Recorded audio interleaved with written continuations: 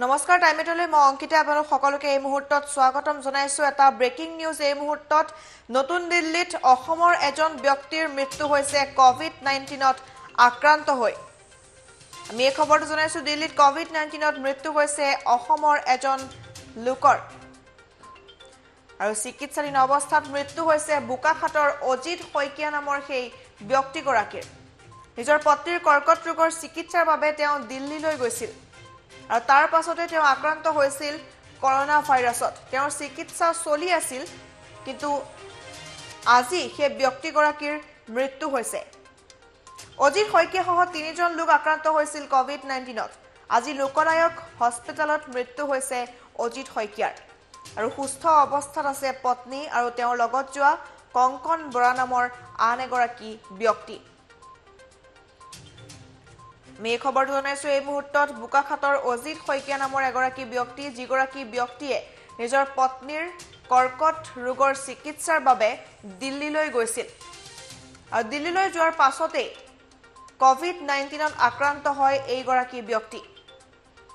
আৰু তাৰ পাছতে তেওঁ চিকিৎসা কৰি থকা হৈছিল যদিও মৃত্যু হৈছে বোকাখাটৰ সেই ব্যক্তিগৰাকীৰ। তেওঁৰ নাম অজিত শইকীয়া আৰু আজি লোকনায়ক হস্পিটেলত মৃত্যু হৈছে অজিত শইকীয়াৰ।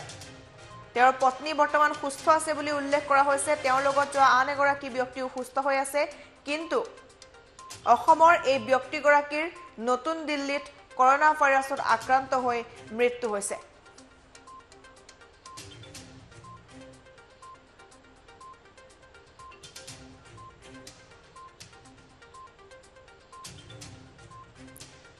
পুনৰ জনাইছো আপোনালোকক এই খবৰটো। এই মুহূৰ্তত নতুন দিল্লীত অসমৰ এজন ব্যক্তিৰ মৃত্যু হৈছে। কৰোণা ভাইৰাছত আক্ৰান্ত হৈ আৰু সেই ব্যক্তিগৰাকীয়ে নিজৰ পত্নীৰ চিকিৎসাৰ বাবে দিল্লীলৈ গৈছিল। নিজৰ তেওঁৰ পত্নী কৰ্কট ৰোগত আক্ৰান্ত কৰ্কট ৰোগী আৰু যাৰ বাবে তেওঁলোক দিল্লীলৈ গৈছিল আৰু তাৰ পৰৱৰ্তী সময়ত দিল্লীতে আক্ৰান্ত হৈছিল অজিত শইকীয়া নামৰ এই ব্যক্তিগৰাকী। আৰু তাৰ পৰৱৰ্তী সময়ত তেওঁৰ চিকিৎসা কৰি থকা হৈছিল যদিও আজি সেই ব্যক্তিগৰাকীৰ মৃত্যু হৈছে। তেওঁৰ লগতে আন তিনিজন ব্যক্তিও আক্ৰান্ত হৈছিল কভিড নাইণ্টিনত আজি লোকনায়ক হস্পিটেলত মৃত্যু হৈছে অজিত শইকীয়া নামৰ এইগৰাকী অসমৰ ব্যক্তিৰ।